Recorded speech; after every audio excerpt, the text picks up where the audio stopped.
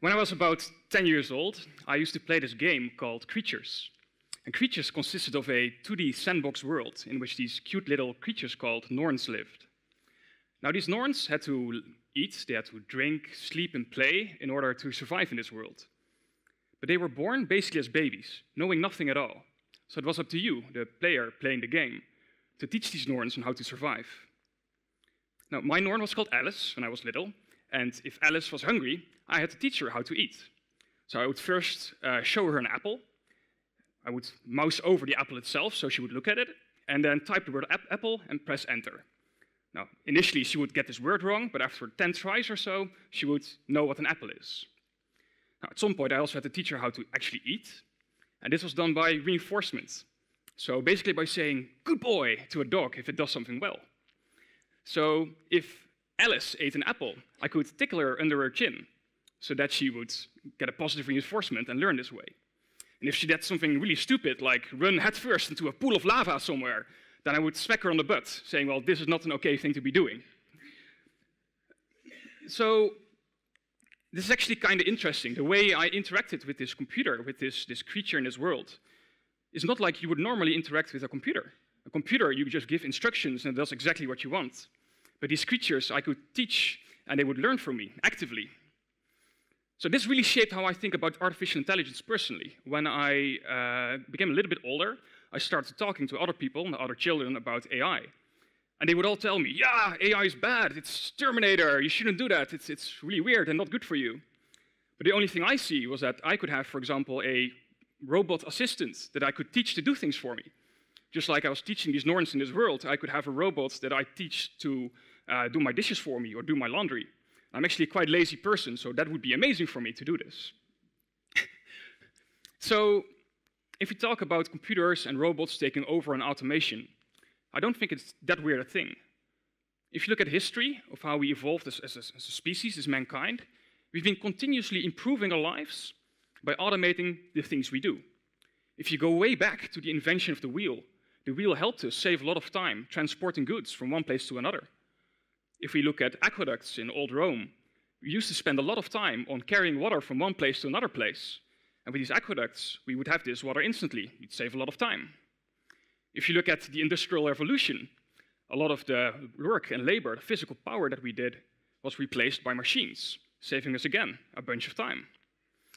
Even electricity gave us the washing machine, where a lot of women had to spend multiple hours every week doing all the, all the washing and the dishes, etc. This is now done automatically, saving us, again, a lot of time. Even the internet saves us a lot of time. I had a discussion last week with a friend of mine about when the Korean Hangul alphabet was created.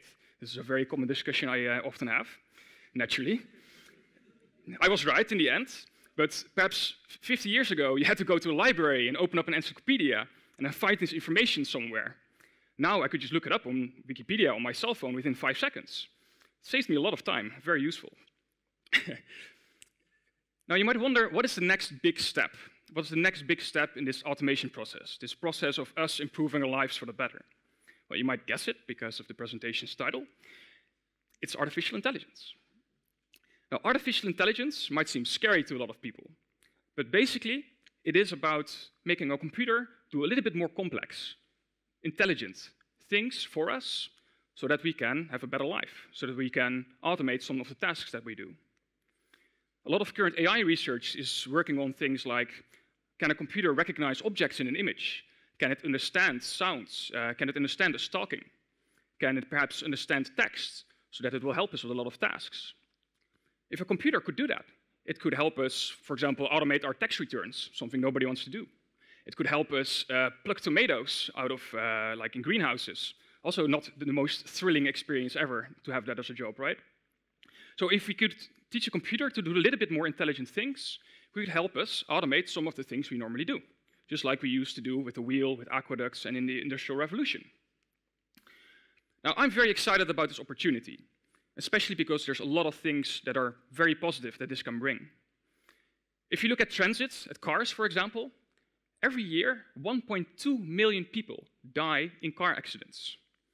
I think if we at some point have self-driving cars, we could prevent all of these deaths from occurring. In America, the third largest cause of death is medical error, doctors making mistakes. And that's not uncommon in the Netherlands as well. Practicing medicine is really, really difficult. What if you had artificial intelligence that could read all the newest research, that could uh, look at all the data that comes from your body and from your wearable devices? What if we could have those artificial intelligence algorithms, these computers, help doctors? I think we can take great leaps in our healthcare and how long we can live and curing diseases like Alzheimer. This is, I think, where artificial intelligence is going. And that's really great, right? So these two examples are just the tip of the iceberg. I think a lot of things that we commonly do that require currently some kind of human intelligence can be perhaps taken over or at least assisted by artificial intelligence. So here's my prediction. I think in the next 20 years, artificial intelligence will be everywhere.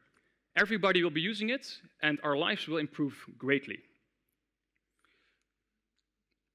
So you might wonder, how do we get there? Uh, we haven't seen it now. Perhaps some of you have something to do with artificial intelligence, but not much.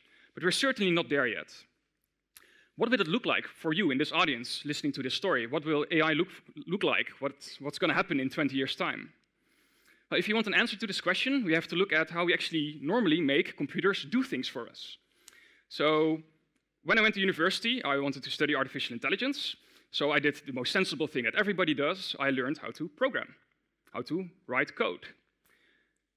Programming is basically like taking an idea you have in your head and writing machine instructions, very mathematical, very logical, so that the computer can understand what you mean and that it can follow these instructions. And then one by one, it just follows the instructions as they are written. Now, programming is basically the most inhuman thing you could ever ask somebody to do. and that's because it's very logical, it's very mathematical. I don't think a lot of people in this uh, audience will really like mathematics. People in general are also not that great at logic. So for us to translate the ideas that we have to something that's readable by a machine is not intuitive at all. The computer also doesn't understand the world that we live in. So if you want to tell it to, to do something, it just won't understand you. On the flip side, humans are very emotional, we are intuitive, we have great understanding of the world. So there's a big translation gap between what we know and what we want to do if we want to teach somebody, and what the machine can understand. So programming is not that great.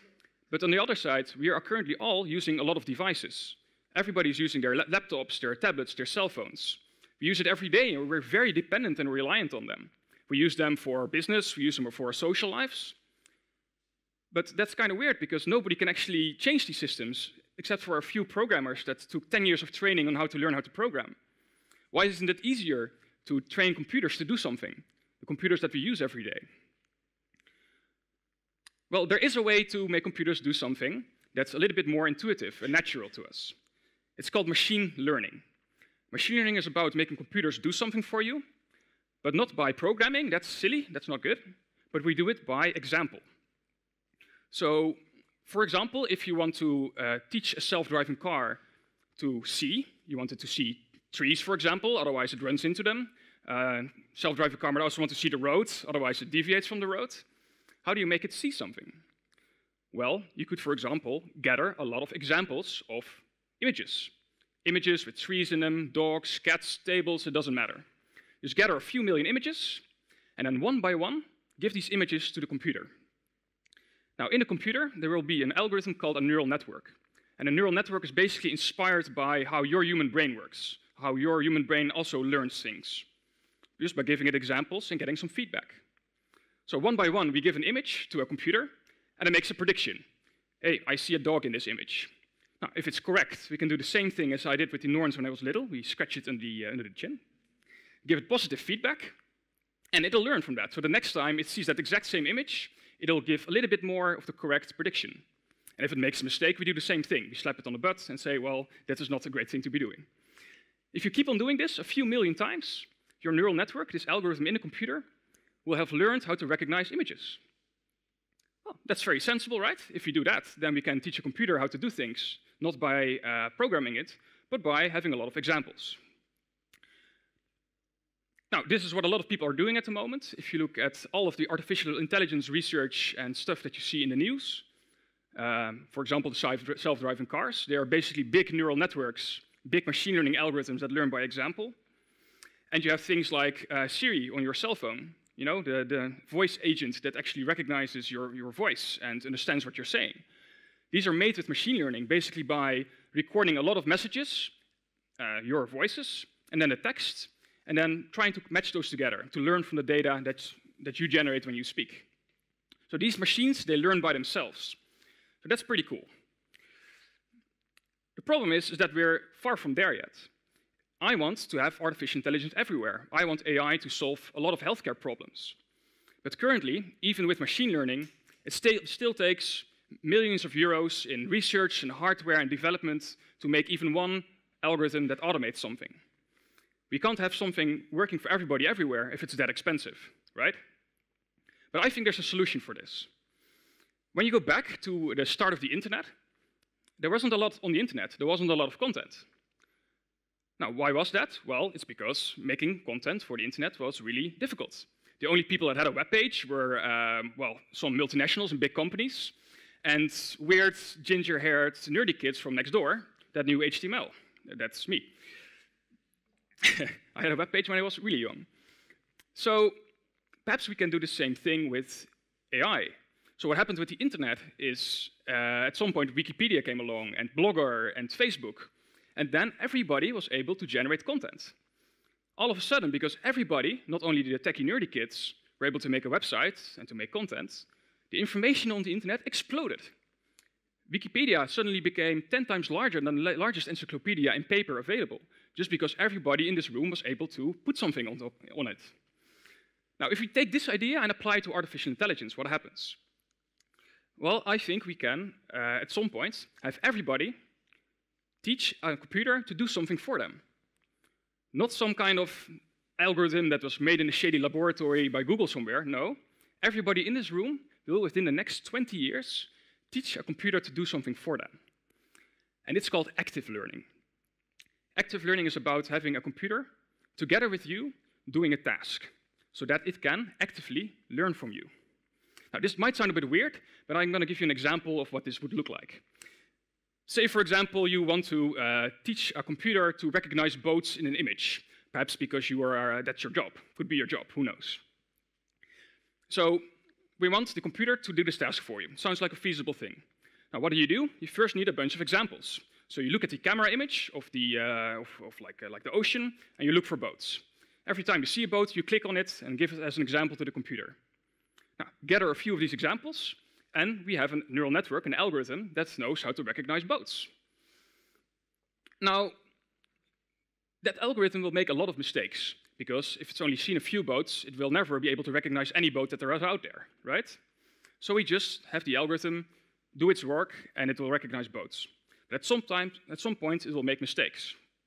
That's okay. Computers can make mistakes. Humans make mistakes. Children make mistakes. When you're learning, that's already good, because from your mistakes, you can learn. So what do we do? Every time the algorithm makes a mistake, we give it feedback saying, well, this is not good. We slap it on the butt, say, that is not an okay thing to be doing.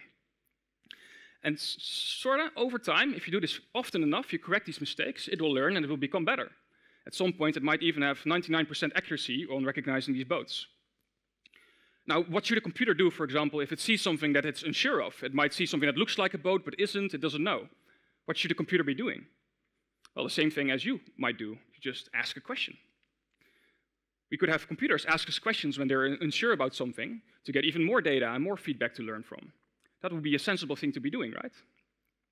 Now, I think if we organize our artificial intelligence in such a way that it is possible to have it actively work together with you, to then give it feedback when it makes mistakes, and then also to um, ask questions to you to be able to become smarter, then we could have a computer that anybody here could teach to do something.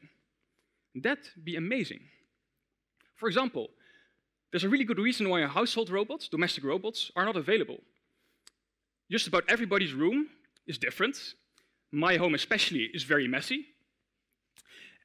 And in those environments, it's very difficult to make, to program a computer to work properly, to program a robot to do a certain task if you make a robot in a certain lab environment, you want to program it, it's very difficult to make it work for every situation that's, that's possible. What if the companies making these robots would just ship a robot to you, completely blank, like a newborn baby, and then you could teach it to do household tasks for you. That would solve a problem of making it very difficult and expensive to program these computers. Imagine, for example, you want a robot to flip a pancake. You could put a pan and then a pancake in it in its hand, and then you just grab it by the arm and you start flipping. You're showing what the movement is like to, to flip a pancake. Now, if, if it does that, we have a basic understanding of what the pancake flipping is like, and then we do active learning. So then we just let it flip a pancake by itself. Now, this might go completely wrong at the start. Your pancake might end up on the ceiling, but that's okay. Robots can make mistakes, computers make mistakes, as long as you can give it feedback and tell it, that's not okay. I don't want pancakes on my ceiling. Keep on doing this a few times, and this robot will learn from you. And it will learn how to do this task. So next time you want it to flip a pancake, it knows. This would be a far better way of trying to have robots in our house doing something for us. We just teach it. Now, this idea becomes really exciting if we extrapolate it to medical area. So say we have uh, a radiologist. They could, for example, teach a computer to do a part of the work just like they do. They would just have a personal assistant that analyzes medical images about 80% like they would do it themselves. But we can make this even more exciting. What happens if we have the five best radiologists in the world train one computer algorithm? Then their knowledge would be enclosed in this one piece of software. And that software could be used anywhere. We could take this algorithm that was trained by the five best doctors and apply it in any hospital in the world, e even in third world countries where good medical care is very scarce. That'd be amazing if we could do that, right? And we could do this with anything. You could have the best tax experts teach a system how to fill in your tax forms for you, and anybody could use that. You could have the best interior designer uh, teach a system how to properly arrange furniture and what colors look, look well together. And that algorithm could help anyone with arranging their houses properly. A lot of tasks currently in manufacturing are actually not automated yet because they are too expensive to automate with the current robots that we have. But some people in these factories might actually teach a robot to do these tasks for them. Now, I believe the opportunity there, that's amazing. So where the internet let us bring knowledge uh, like information to everybody in a small amount of time by using artificial intelligence and active learning, by having everybody teach these machines, we can not only take information and knowledge everywhere, but also the know-how and how to act on top of it.